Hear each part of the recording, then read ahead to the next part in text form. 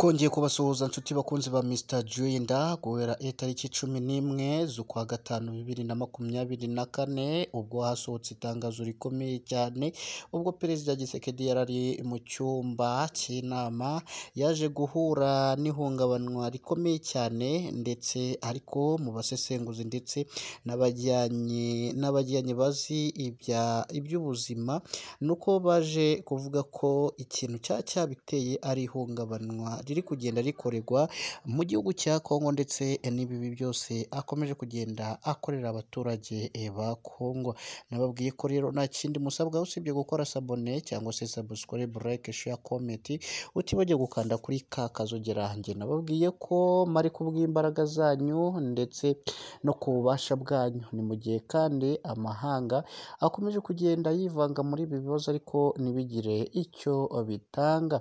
Basha kuba wagendana natwe ubashe kuba wakorana natwe buri uko bwije n'uko bukeye twavuze ko tugiye kuzajya tubana o, amanywa na nijoro. Reka tubashe kubabwira ko ikinyamakuru cya rwanda tribune cyaje gutangaza ko perezida gisekedi akomeje kugenda akora ikimenyane gikomeye cyane aho buri muturage wese ngo yabashije kuba yahabwa agasopo mu buryo butari bwiza cyane. Ni mu gihe kandi mu makuru twabashije kuba twakurura ubwo perezida gisekedi yiteguraga kurya muri kiriya cyumba cy'inama yabanjije kuba yahungabana ariko bagira ngo ni ibintu bisanzwe reka tubashe kubabwira ko rero mwebwe nta kindi musabwa usibye gukora sabone cyangwa se subscribe like share comment utibagiwe gukanda kuri ka kazogera. Reka tunyarukire mu burasirazuba bwa Kongo aho buri muturage wese yabashije kuba yahura n'ikibazo kitari cyiza cyane ariko bakaba bafashe umwanzuro y'ukuntu yaba agiye eh, yaba agiye guca agasuzuguro. Ariko M makumyabiri na gatatu yo ikavuga ko byanze bikunze bagomba kuzagira ibyo bakora batagira ibyo bakora igihugu cya Kongo kigasigariraho. Reka tunyarukire mu burasirazuba bwa Kongo haravugwa y'iki? Ese hari gutangazwa y'iki?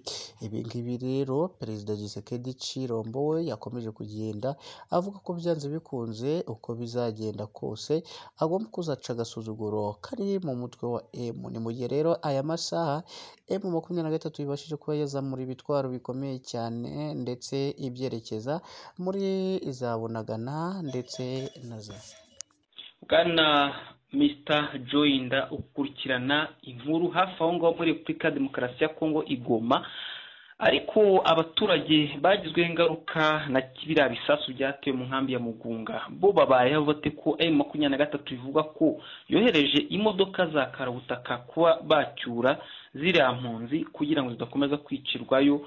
Byo ubivugaho iki?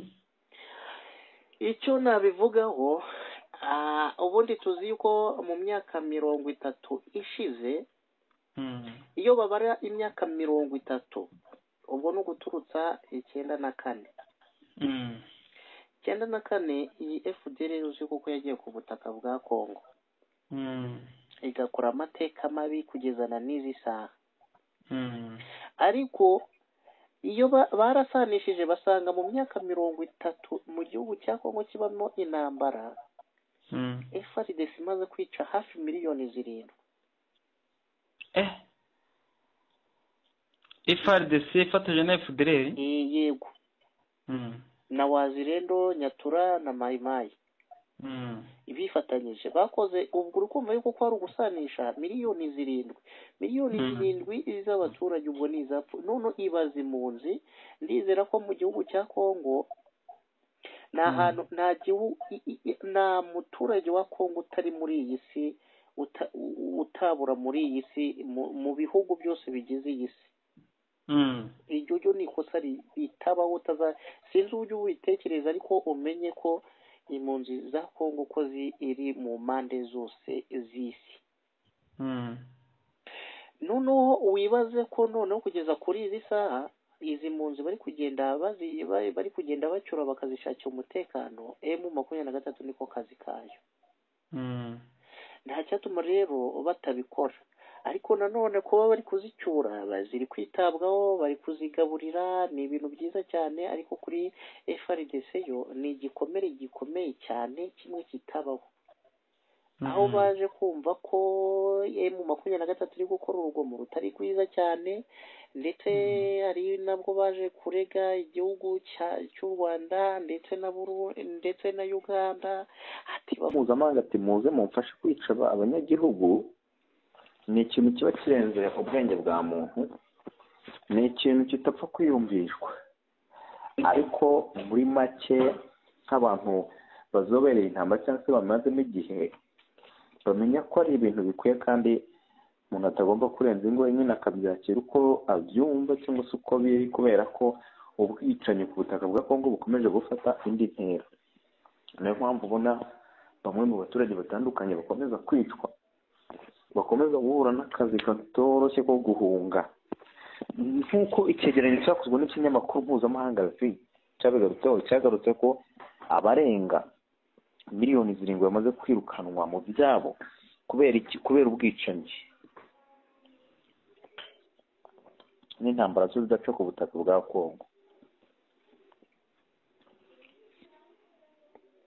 urakoze cyane rwose. None nkawe nk'uko ugenda ubibona hirya no hino ubona indi ntera ikomeye itari nziza cyane urabona nk'ubu abaturage bari kwicwa abandi bakavutswa ubuzima abandi bagasahurwa. Nicyo wasangiza abakunzi ba misita joyinti icyo nababwira ni uko intambara yo izahoraho kandi abantu benshi bazakomeza bapfe nyuma y'uko perezida gisekedi akomeje kwanga ibiganiro hagati yabo na emu makumyabiri na gatatu.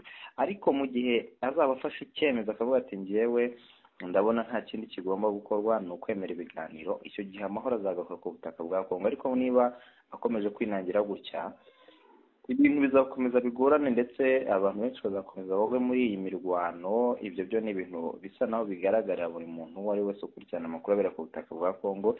Niyo mpamvu ibihugu mpuzamahanga bisaba perezida wa kongo felix antoine gisegeti guhindura imyumvire no guhindura ibitekerezo akemera inzira y'amahoro akareka ibyo arimo kuko ibi ngibi birasenya ntabwo byubaka bwa mboni yacu. Urakoze cyane rwose. Ese nkawe nk'iyo urebye uyu muperezida perezida gisekedi Chilombo akomeje kugenda ajya mu bihugu bitandukanye zaba za mu burusiya uzi yuko ko yabashije kubonana na na kapiteni kapiteni? Yabashije kubonana na kapiteni wa Ibrahimu akabonana n'abandi bakomeye cyane. Yabonanye na Emmanuel Macron abonana na ba Joe Biden. Nk'iyo ubonye nka perezida Gisekedi akomeje kugenda azengunuka ibihugu byose ashaka umutekano mu gihugu cya Congo anaharabika umutwe wa emu makumyabiri na gatatu ko ari wo uri mu ikosa. Wowe ubibona ute